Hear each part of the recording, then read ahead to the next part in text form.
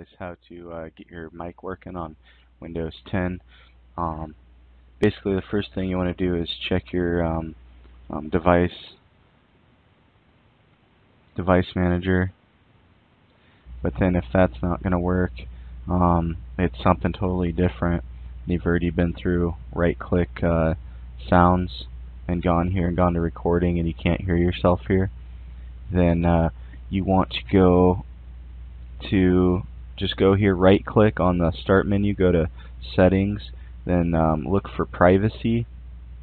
Then once you find privacy, then uh, here's privacy right here.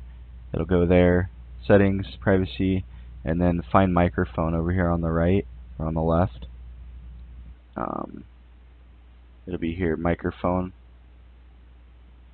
somewhere. I'm not sure where I'm at now. But uh, let's go back. Privacy,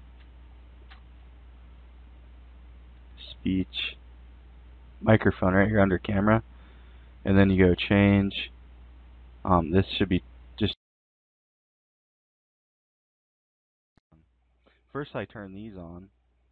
I turn this on, but then I came up here and hit change, and that was already on. So on now. Allow apps to access your microphone. Mine looks like this. And it's working. It took me like two hours trying to mess with this thing yesterday. Um, it's not your headset, it's your freaking, it's your Windows 10. And it's always worked before, that's what's strange about it. So, yeah, this is the fix.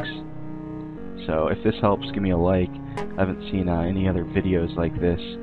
Um, so, definitely check that out, I hope it helps and subscribe. Have a nice day.